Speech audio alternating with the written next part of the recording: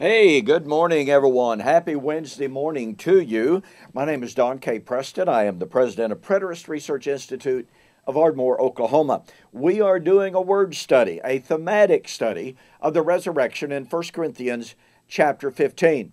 And we're, we're demonstrating that the words that Paul uses simply do not support the idea that he's talking about the raising of a biological body. Please go back and look at our videos as we look at the words mortal or corruptible or vile or, you know, all of those words that are translated there, and to see that there is a constant chain of contrast in Paul's discussion between the natural man and the spiritual man. Now, I shared with you in the last video that we would take a look at this concept of the image, the image of Adam, the image of Christ, because this is, this is amazing stuff. Do not forget, and I'll have more to say about this uh, in tomorrow's video, because we, boy, I tell you what, just a discussion of the concept of Paul's discussion of the image of Adam, the image of Christ is an incredibly rich, incredibly powerful study, research study. And guess what? It verifies everything I'm sharing with you here that when Paul talks about the image of Adam versus the image of Christ, he's not focused on biology. He's not focused on somatic substance. He is focused on man either outside of Christ or man in Christ. Now, this is confirmed when Paul says in 1 Corinthians chapter 15 verse 49 and this boy this is something. I, I, I remember well about the first time I ever ran across this and it was like whoa wait a minute. Well that can't be true. If we're talking about biology if we're talking about bodily substance that can't be true Paul says, 1 Corinthians 15 49, as we have borne the image of the man of dust, we shall also bear the image of the heavenly man. Okay, wait a minute. We have two images here image of Adam, image of dust, image of Christ, the heavenly man. Is it not once again, readily apparent that he is not contrasting biological substance. I mean, after all, you know, we're told uh, that Christ is in a flesh and blood body right now, in heaven. Oh, wait a minute. A flesh and blood body is the body that he had in, in his incarnation, the body of his pure humanity, a body of dust, like Adam. Oh, but that's not what Paul's talking about here. I want you to catch the power of this. Paul says, as we have born, that is in the Greek an aorist tense, which means a past tense. Now, if Paul's talking about the image of Adam from the dust, referring to solely biological substance, then he says, well, you know, uh, at one time we were in the dust. We were up, our bodies were made of dust. But now we're not.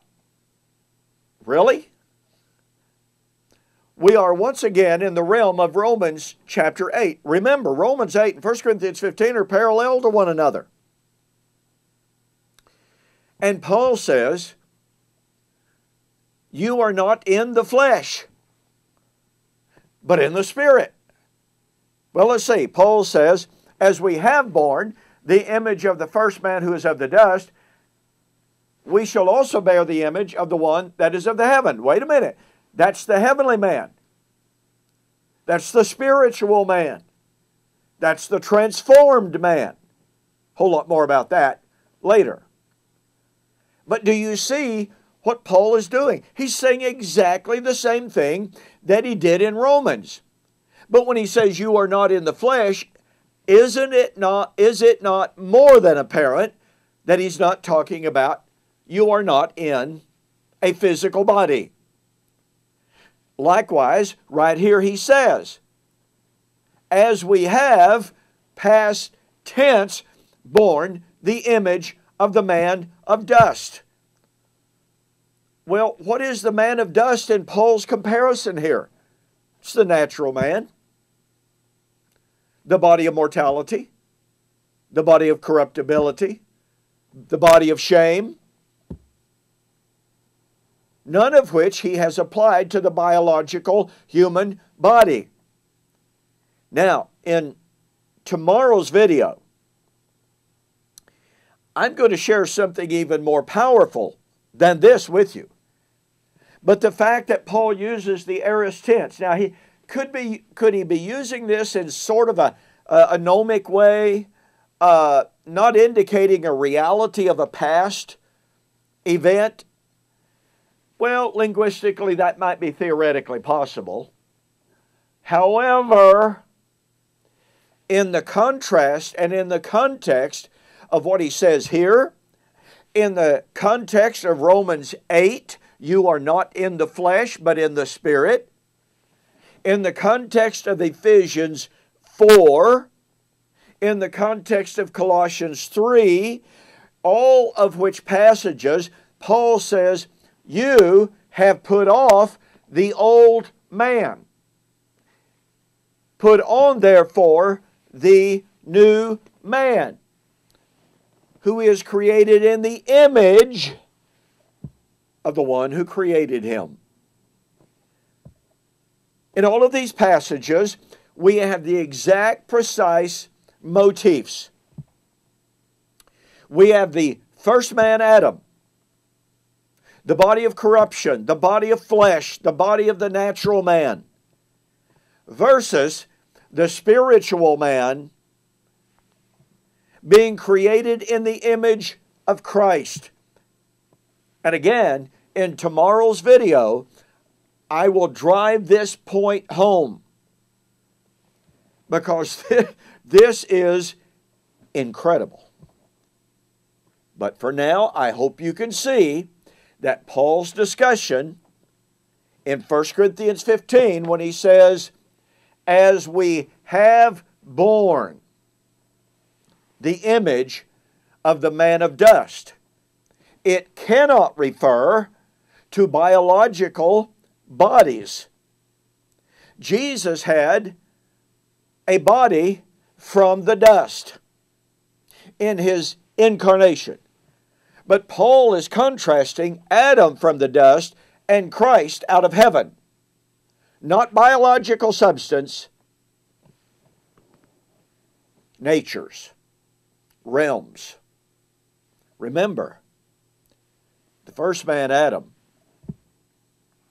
was simply a living, a living being. Well, Jesus was a living being. First man was of the earth, earthy. The second man is out of heaven. Well, Jesus was of the earth. The Word became flesh and dwelt among men. We have a threefold contrast here in Paul's discussion of the first man Adam, the second man Adam. None of them can be. Not logically, not contextually. They cannot be a contrast between biological bodies. Once again, join me tomorrow for our discussion of the image of Christ. In the meantime, get yourself a copy of this book by Daniel Rogers, The Last Enemy and the Triumph of Christ. Go to my website, BibleProphecy.com, order the book and be sure to send me a note letting me know that you saw the offer on YouTube or Facebook, and I'll refund you everything except $8. Total cost, $8. All right? Don't miss tomorrow. We'll see you on the flip side.